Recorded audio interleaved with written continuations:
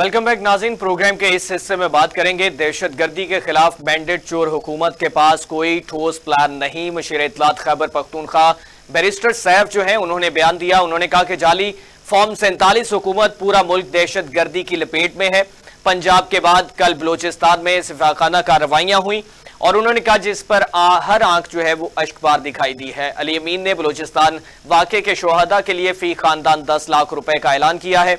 उन्होंने कहा कि शहबाज शरीफ, जरदारी और राजकुमारी मरियम नवाज़ सिर्फ़ मिन्नतें ही कर सकते हैं। मुल्क में इस्तेकाम और रियासत के बचाव के लिए जाली मैंडेट का खात्मा ज़रूरी है। समाजी और सियासी इंसाफ के बगैर मुल्की इस्तेकाम और तरक्की नामुमकिन है। उनका कहना था कि अमनो अमान की सियासी सूरत हाल में इसमें इस्तेकाम से मशरूत है और उन्होंने कहा कि सियासी इस्तेकाम बानी पीटीआई की रिहाई के बगैर मुमकिन नहीं हो सकता। इस पे बात करेंगे और दूसरा इसमें इंटरनेट की बंदिश के हवाले से बात करेंगे। आठ करोड़ तीस लाख पाकिस्तानी मुतासर हो चुके। मीशत को पैंसठ अरब रुपए का नुकसान हुआ है। इंटरनेट बंदिश से मुल्क की मीशत को होने वाले नुकसान के इदादोशुमार सामने आए। और इन इदादोशुमार को इकट्ठा करने वाले जर्मन इदारे के मुताबिक इंटरनेट शटडाउन से 2023 में पाकिस्तान की इकतसादियात को पैंसठ अरब रुपए का नुकसान बर्दाश्त करना पड़ा। इंटरनेट बंदिश का मजमू दुरानिया दो सौ उनसठ घंटे रहा, जिससे आठ करोड़ तीस लाख पाकिस्तानी मुतासर हुए। आयशा साहबा आयशा साहबा किस तरह से देखती हैं? बैरिस्टर सैफ साहब जो हैं, उन्होंने भी मौजूदा हुकूमत को तनकीद का निशाना बनाया। उन्होंने कहा कि ये सिर्फ़ बातें कर सकते हैं, ये मिन्नतें कर सकते हैं, ये मामला ठीक नहीं कर सकते। दूसरी जानब उन्होंने कहा कि अलीमीन गंडापुर साहब जो है, उन्होंने दस दस लाख रुपया देने का ऐलान कर दिया। देखिए शोकत यूसुफ सही साहब ने जो बयान दिया है ये सिर्फ़ महज में उनका उनकी तरफ़ से बयान ऐसा नहीं होगा ये 25 करोड़ आवाम जो है ना इस वक्त तो इसी तरह के उनके कुछ मिले जुले ख्याल हैं। दूसरी तरफ़ अली अमीन गंडापुर साहब ने बैरिस्टर साहब sorry sir sorry ji. Ali Amin Gandapur साहब ने जो दस लाख रुपए का जो है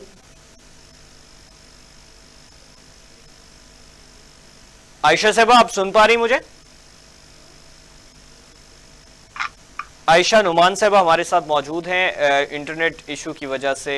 आ, मुकीम साहब मुकीम साहब आप कंटिन्यू करिएगा क्या कहना चाहेंगे इस हवाले से? जी आयशा साहब जी। जी आवाज़ आ रही है हम जी जी आयशा जी मैं करूँगी कि कंपनसेशन नहीं हो सकती इंसानी जान। जी। जिसका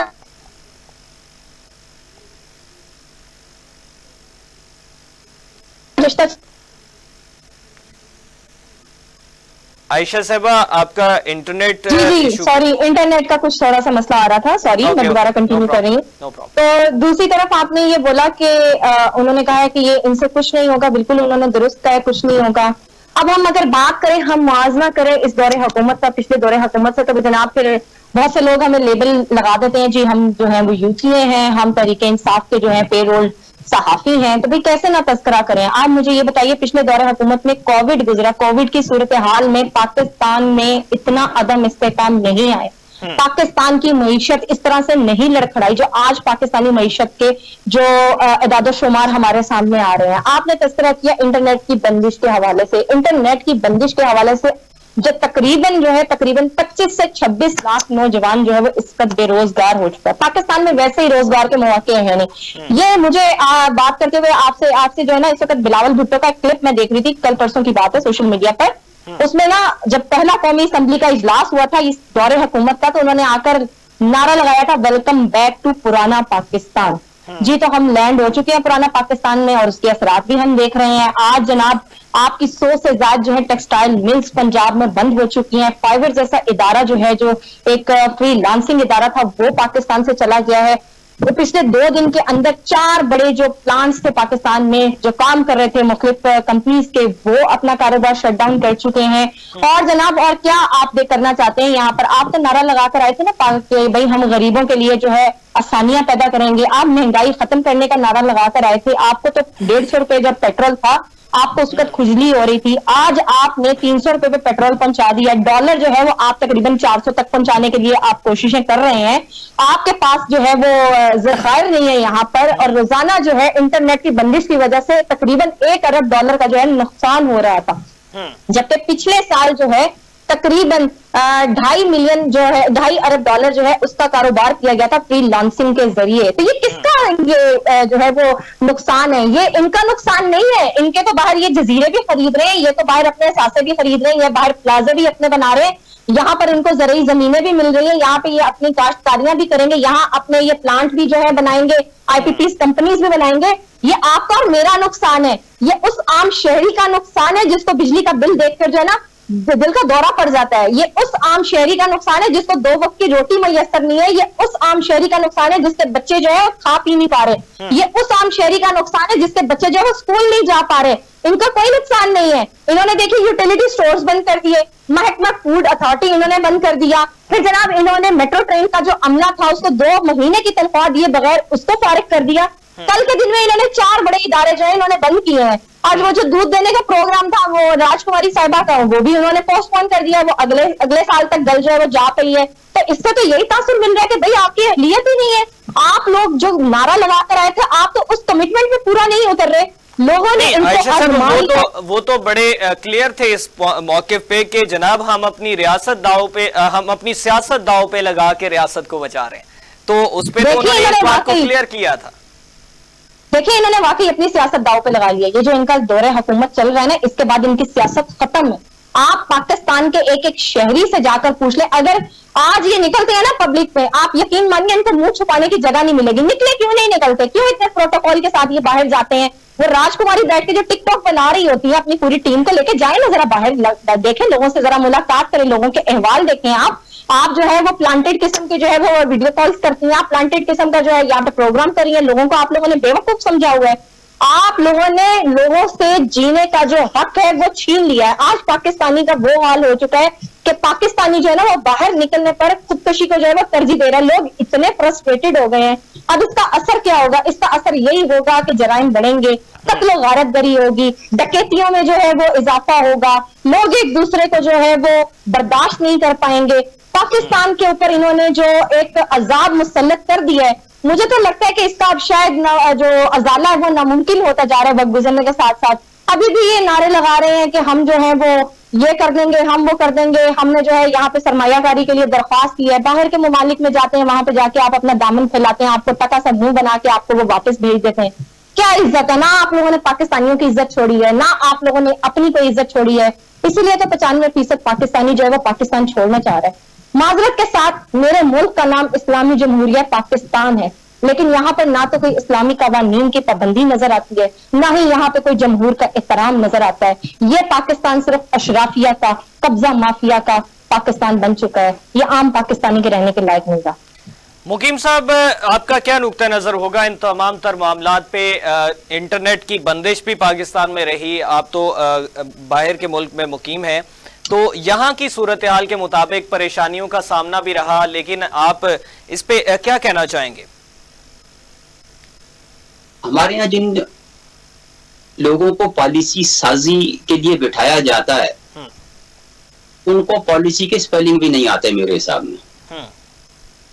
आप इंटरनेट इसलिए देते हैं इसलिए कि पेपरलेस ट्रांजैक्शन हो आप इंटरनेट किस लिए इस्तेमाल करते हैं हम्म। कि को आना जाना ना पड़े दफातर में लाइनों में लगना ना पड़े। हम्म।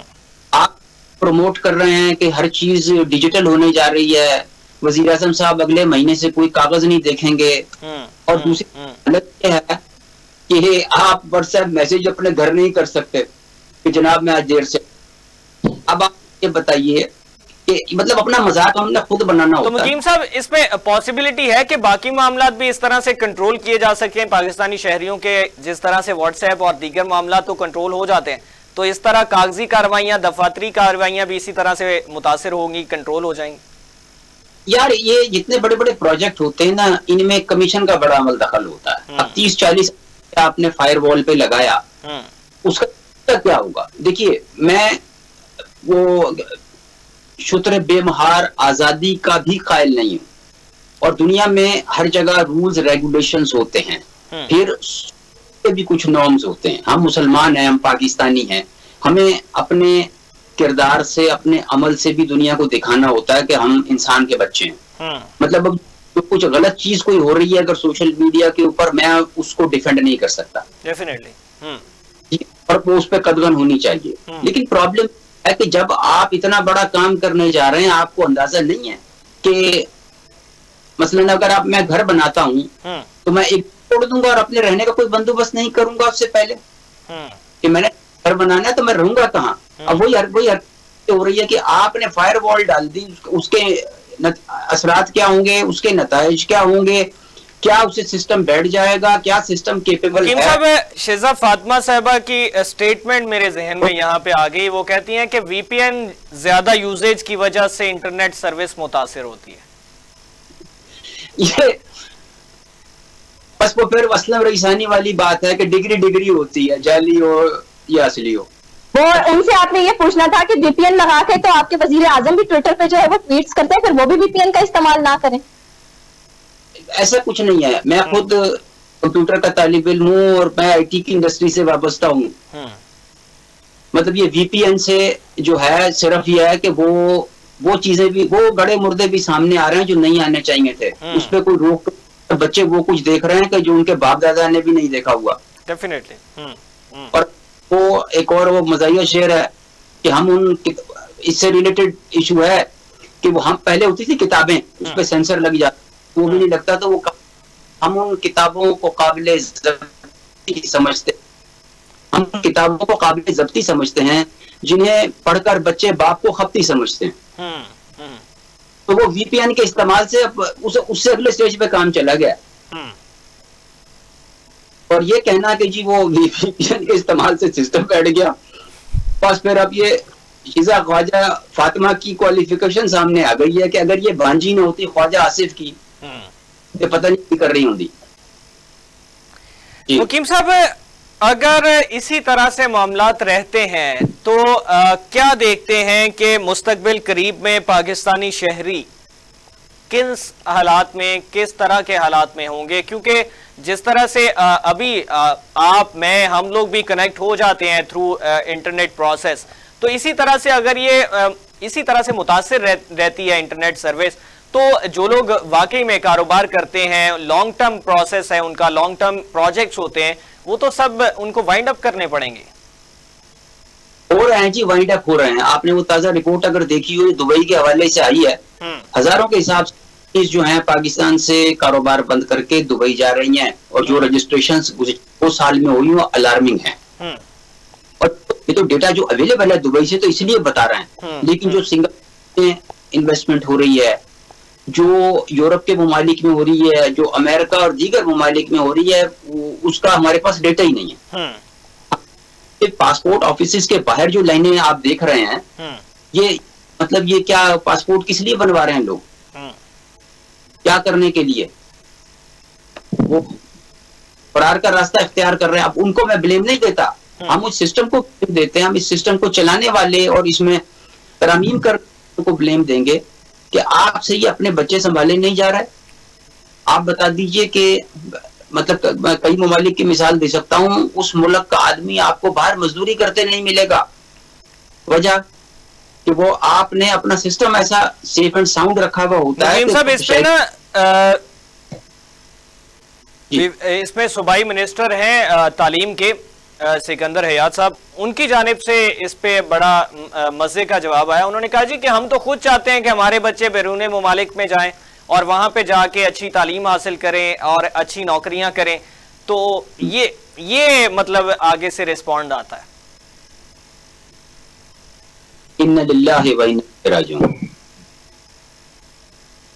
ये मेरा रिस्पॉन्ड है। आयशा नुमान साहबा, आयशा साहबा पाकिस्तानी शहरियों पे 46 अरब रुपए का मजीद बोझ डालने की तैयारी की जा रही है, बिजली महँगी की जाने लगी है। तो आप खुशखबरी सुनाएँगी किस तरीके से? देखिए, ये जो ज़िम्मेदारी डाली जा रही है एक नए पाकिस्तानी पर, अब जो नया बच्चा भी पाकिस्तानी आँख खोलेगा, वो इतना मकरूज हो चुका होगा कि वो उस वक्त से ही प्लानिंग करना शुरू कर देगा कि मैंने अपने आने वाले सालों में कौन सी ऐसी मेहनत करनी है कि मैं अपना कर्जा उतार सकूँ। अब ये कर्जा जो है, ये कभी भी नहीं उतर सकता मेरे ख्याल से। यहाँ से जो है, पाकिस्तान से निकलना, पाकिस्तान से चले जाना ही इसका मुझे वाहिद हल नज़र आ रहा है। वरना तो और ऐसा कोई मुआवजा हुआ नज़र आ रहा। पाकिस्तान में इस पे काम आने दिया नहीं जा रहा। पाकिस्तान की मीशत जिसको एक साल पहले जी दावा किया गया था, बड़ी अहम शख्सियत की तरफ़ से कि एक साल के अंदर जो है वो पाकिस्तान अपने पैरों पे खड़ा हो जाएगा और पाकिस्तान में जो है वो खुशहाली ही खुशहाली हो जाएगी। तो आज वो दावा कहाँ गया? पूरा एक साल गुजर चुका है। क्यों कोई बयान नहीं आ रहा? क्यों कोई ऐसे इकदाम नहीं आ रहे सामने के जिससे जो है पाकिस्तान के लोग जो है वो बयान बहुत ज़्यादा आ रहे हैं। हर तरफ़ से ये कहा जा रहा है कि परफॉर्मेंस अच्छी जा रही है पंजाब परफॉर्मेंस अच्छी जा रही है हर तरफ़ जो है वो खुशहाली पैदा की जा रही है। बयान तो आ रहे हैं। तो वो तो वो आउटपुट नज़र क्यों नहीं आ रहा? वो पाकिस्तानी फिर क्यों नहीं इस बात को मानने पर तैयार हो रहे? पाकिस्तानी क्यों चाह रहे हैं कि वो यहाँ पर ना रहे? क्यों जा रहे हैं वो पाकिस्तान से? मैं और आप और वो चंद पाकिस्तानी जो हैं उनको मद्देनजर नहीं रखते उन तमाम तर खुशहाली के मामला को। हाँ जी बिल्कुल ऐसे ही है जी। पाकिस्तान के जो शहरी है ना उनकी अकलो फहम तो खत्म हो चुकी है। वो उसी दिन ही खत्म हो चुकी थी जिस दिन ये चोरों का टोला जो है ना हम पर मुसलत कर दिया गया था ना अहल लोगों का। हम्म। मैं हमेशा से यही कहती आई हूँ कि there was never a right person for the right job in Pakistan. जब तक ये नहीं होगा यहाँ पर किसी मिस्त्री को भी उठा के जो है आप यहाँ पर मीशत दान लगा देते हैं वज़ीर खजाना लगा देते हैं। आपको याद होगा इस हाकदार साहब को इंपोर्ट करके लाया गया था पाकिस्तान में और बड़े धड़ल्ले से लेकर आए थे जी ये पाकिस्तान की मीशत जो है ना उसको ठीक कर देंगे दो दिन के अंदर ठीक हो जाएगी ये साल के अंदर ठीक हो जाएगी। भाई देखिए यही तो मैं आपको कह रही हूँ यहाँ पर जो जितना बड़ा ना अहल है यहाँ पर जो जितना बड़ा चोर है उसको उतना ही बड़ा अहदा जो है यहाँ पर मिलेगा हम्म। ये पाकिस्तान जो है ना उन लोगों के लिए नहीं है जो यहाँ पर जो है मेहनत मजदूरी करने के ऊपर यकीन रखते हैं जो अपनी काबिलियत के बलबूते पर जो है यहाँ पर अपना नाम बनाना चाहते हैं ये उन लोगों के लिए जो कि चोर रस्तों से आते हैं ये उन लोगों के लिए जो कि मालिश पालिश करके आते हैं ये उन लोगों के लिए जो कि जो है छांगा मांगा की सियासत पर यकीन रखते हैं। यही हाल हो चुका है। अब इस मुआशरे पर इसकी खिलाकियात पर सियासत की इकदार के ऊपर इन्ना लाहे व इन्ना लगे राजीवन ही पढ़ना बनता है और तो कुछ नहीं। मुकीम साहब छियालीस अरब रुपए का मजीद बोझ पाकिस्तानियों पे डालने जा रही है। हुकूमत वक्त बिजली महँगी होने जा रही है। क्या कहना चाहेंगे? बिजली महँगी नहीं होने जा रही गिरने जा रही है हमजा। हम्म। लोग ऑपरेशन वो पैसों से बिल की अदायगी कर रहे हैं हम्म। हमारी हुकूमतों में या हमारे जो लोग हुकूमत में आ जाते हैं हम्म। अव्वल तो वो किताब से उनका दूर का रिश्ता नहीं है हम्म। फिर जो तारीख बताती है वो ये है कि इनकलाब फ्रांस जब आया था ना चौक चौराहों पर ग्रोह खड़े होते थे और आप जैसा अगर कोई आदमी वहाँ से गुजरा क्या? एक को। उसका हाथ मिला के हाथ चेक करते थे। जिसका हम्म। हाथ था वो कहते थे इसने मुशक्कत नहीं की इसे फांसी पे चढ़ा दो। हम्म। यानी ये मरात याफ्ता तबका है और हमारे हाथों पे हुए हैं। हम्म। तो उस वक्त से डरना चाहिए कि जिस वक्त तंग आमद बजंग आमद। और हज़रत अली करम वजह का कौल है कि गुर्बत कुफर की तरफ़ ले जाती है। तो आप बताइए कि इन हालात में भी आदमी अपने रूह और जिस्म का रिश्ता कैसे कायम रखेगा कि जिस वक्त बुनियादी जरूरियात पूरी ना हो रही हो बिजली का बिल कोड़े की तरह उनके पुष्प पर पड़ता हो और दो महीने का रिलीफ दिया था जिस पर इन्होंने नाच नाच के फिर एक दफ़ा घुंघरू तोड़ दिए। हम्म। दो महीने के पैंतालीस अरब का रिलीफ है। उसके बाद क्या होगा वो इसराइल ही बताएगा। और अभी उसके बाद जो नई स्ट्रेटेजी आ रही है वो गैस के बिलों में इजाफे की है। हम्म। क्योंकि गर्मियों में लोगों को महसूस नहीं होगा कि रेट बढ़ा दिया गया। हम्म, हम्म, जिस वक्त गैस के बिल आएँगे तो फिर वो कह देंगे जी वो तो हमने तो कुछ नहीं करा है पिछले कर गए थे। तो ये, एक जिसे कहते हैं कि दो पार्टों में पिसती हुई अवाम है। अब अल्लाह सबर कब जवाब देगा? और किस वक्त वो कीनिया वाली सूरत हाल हमारे सामने आ जाएगी कि जिस वक्त शहरी वापस सड़कों पे आए थे तो ये बिलों में घुस गए थे उनके सारे सियासतदान और साहिब इकतदार और जितने उन्होंने कानून बनाए थे सारे वापस भी लिए थे हम्म। ये मिडिल ईस्ट में जो वो सियासी तहरीक चली थी एक रेडी फरोश ने अपनी जान जाने आफरीन के सपुर्द की अपने आप को आग लगा दी हम्म। फिर लावा फूटा था उसने कितनी हुकूमतों को लपेट में ले लिया था और कितने ताकतवरों को जहन्नुम रसीद कर दिया था। तो ये अवाम के सबर का इम्तहान लेना मेरे हिसाब में खाली दिमाग लोगों का काम है। इन्हें सोचना चाहिए कि हमने खाली यही जवाब नहीं देना हमने आगे भी जवाब देना है। हम्म। लेकिन मसला ये है कि सानू की ये इस किस्म की अप्रोच लेके चल रहे हैं कि भाई जी आज ही है कल नहीं है। लूट लो जितना लूटना है। कमीशन भेजो बाहर बच्चे पढ़ाओ बाहर इंडस्ट्री लगाओ बाहर। प्रोटोकॉल यहाँ पे हुकूमत जाएगी तो सीधे सारे बाहर निकल जाएँगे कहीं ना कहीं कहीं ना कहीं नैरेटिव ये सेट हो चुका है कि हमने चंद दर्जन लोगों को सेटिस्फाई करना है 25 करोड़ को सेटिस्फाई नहीं करना तो वो कभी भी सेटिस्फाई कर से करके दोबारा से इकतदार में आ सकते हैं। शायद ये वजह? इसमें कोई शक ही नहीं है। 25 करोड़ के ऊपर ये 2500 हावी हैं। और ये, यही 2500 के करीब लोग जो हैं, वो हमारे मुकद्दर भी लिखते हैं, हमें जहनुम रसीद भी करते हैं, हमारे सिस्टम की असमत दरी भी करते हैं, और हमें पाताल तक भी यही पहुंचाते हैं। जी। ठीक है, मुकीम अहमद साहब, बहुत शुक्रिया। आयशा नुमान साहबा, बहुत शुक्रिया। अपने कीमती वक्त दिया, हमारे साथ मौजूद थे। और ये नाजिन तमाम तर सूरत हाल है, जिसमें दहशत गर्दी के वाकत देखे हमने। पाकिस्तान के हर कोने में ये होते हुए दिखाई दे रहे हैं, जिसपे प्राइम मिनिस्टर साहब की जानब से भी मौके सामने आया। उन्होंने कहा कि अब वक्त आ गया है कि इनसे निपटा जाए। लेकिन माजी से सतहत्तर वर्ष से हम इस मुल्क में वजूद में हैं और इसमें हम एग्जिस्ट कर रहे हैं। और पिछहत्तर सालों से आप ही की पार्टी के रहनुमा राना सनाउल्ला साहब कह रहे हैं कि वो तमाम तर ममालिक इसके पीछे हैं जो हमें तस्लीम नहीं करते। तो पिछहत्तर सालों से जो हुकूमतें आई, जो अदवार आए, जो आला अहदेदार बैठे हैं, जो हमारे हमें तहफ़ देने वाली जो वहाँ पे लोग बैठे हैं, वो क्या करते रहे पिछले पिछहत्तर सालों से? और दूसरा इसमें डेफिनेटली पाकिस्तान के अवाम पे जो है वो मजीद मुश्किल में इजाफा करने के लिए महँगाई की सूरत में और इस तरह से जो है वो अवाम कहाँ जाए? पाकिस्तान छोड़ के कहाँ जा सकते हैं पाकिस्तानी? पाकिस्तानी इसको छोड़ भी नहीं सकते, पाकिस्तान यहाँ रहना चाहते हैं, लेकिन यहाँ पे तहफुज तो फराम किया जाए। एक जान जो है पाकिस्तानी की, वो तो उसको महफूज दिखाई दे कि मेरी एटलीस्ट जान यहाँ पे महफूज है। बिजली की मद में इजाफा जो है वो सामने आ रहा है। और दूसरा इंटरनेट की सर्विस जो है वो मअतल हो चुकी, बंद कर दी जाती फायर वॉल वॉल लगाई जाती है। उसमें मतलब इतने ज़्यादा लोग मुतासर हुए हैं, लाखों की तादाद में लोग मुतासर हुए हैं, जिनका रोज़गार यहाँ से चल रहा था। वैसे ही रोज़गार मौके उस तरह से जो है, आप फैसिलिटेट नहीं कर सकते। मौजूदा गवर्नमेंट है, या माजी की हुकूमतें हैं तो अगर फ्री लांसिंग के थ्रू या दीगर शोबों से मुंसलिक होकर इंटरनेट के थ्रू अगर हमारी यहाँ की नौजवान नस्ल अगर अपना रोज़गार बहाल करके बैठी हुई थी तो उस पर भी जो है वो रिस्ट्रिक्शंस लग चुकी हैं। उस पर भी जो है वो जाली से गुजरना पड़ेगा कि किसको रोज़गार देना है और किसको नहीं देना। नाजिन ये फिक्रिया लम्हा फिक्रिया है जिसपे पाकिस्तान के अवाम जो है वो पिसते हुए दिखाई दे रहे हैं। आज के लिए इतना ही। अपने मेजबान हमजा भट्टी को इजाज़त दीजिए। अल्लाह के बाद। Thank